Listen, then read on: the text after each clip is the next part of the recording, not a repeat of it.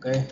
Giờ mình sẽ hướng dẫn cách vẽ biểu đồ, phân phối sản xuất, thể hiện mức đường huyệt có ở cá với dữ liệu cho sẵn. Mở Excel lên. Thứ hai là nhập tên các cột. Cần. Vô như là từ từ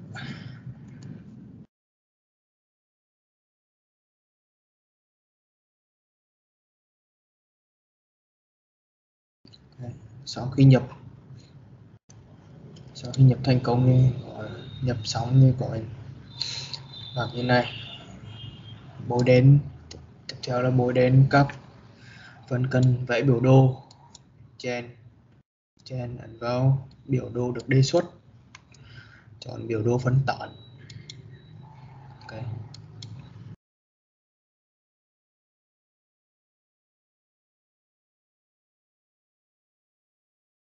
Là ấn vào chọn dữ liệu để có cột phụ thì ấn vào sửa. Đến chuỗi chuỗi trắng tính là phút, chuỗi giá trị x là số thứ tự là id xóa đây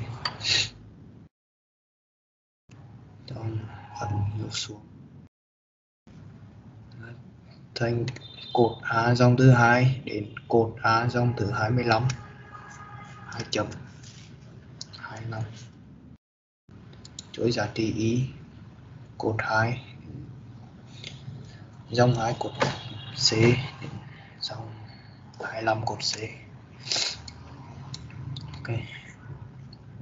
Là biểu đồ của thời gian. Tiếp theo, tạo thêm biểu đồ của món trên lý trên chuỗi.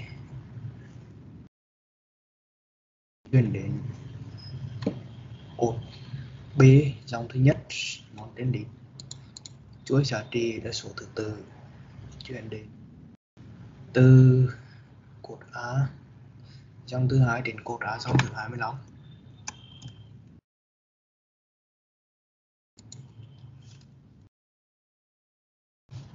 chuỗi giá trị y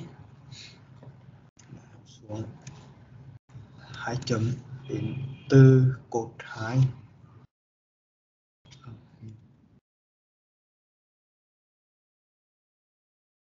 cột đi dòng thứ hai đến dòng thứ 25 ok. Ok. Rồi vào đây. À, chú giải để hiền. Chú thích. Về biểu đồ.